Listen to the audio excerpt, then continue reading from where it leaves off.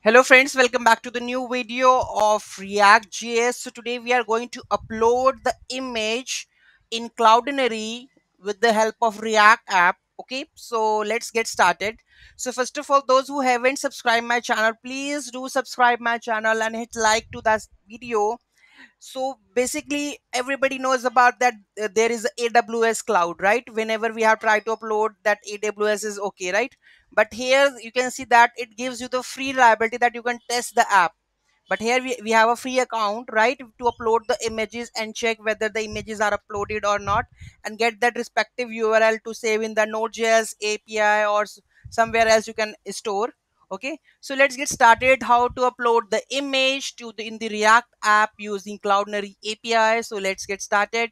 So here we have the app.js file okay so we are using the app component which is, is this is basically a class based component right? So we have a handle image upload query right? Query document dot query selector input file. So basically we have this button to upload an image and on the behalf on on this one on the handle upload image we are going to hit an api this is the url of the cloudinary api here this is my uh, name of that name of that folder. You can see that whatever it is settings they, they are they are providing me the name of that uh, cloud. So this is my cloud name which uh, which which is already inbuilt when i try to create an account. See automatically it is going to provide you right?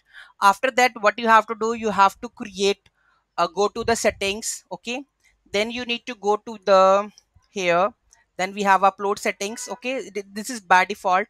Here you can create the upload presets so you need to define these upload presets over here okay? So i have added this upload presets. Any issue in that? We have i have already uploaded the video of these two issues on my channel so you can also look into that. So after hitting this api right? Whatever we are getting this we are setting into the state url image or url so that we can uh, because we are setting this into the state after this state we are showing fetching this image from the state image url okay so you can see that we are fetching the image this dot image url so we are setting the state and we're getting the state and show into that here. Uh, where is the, this one? Okay so i'm going to upload now. So currently my bucket is empty currently i'm using my this bucket okay?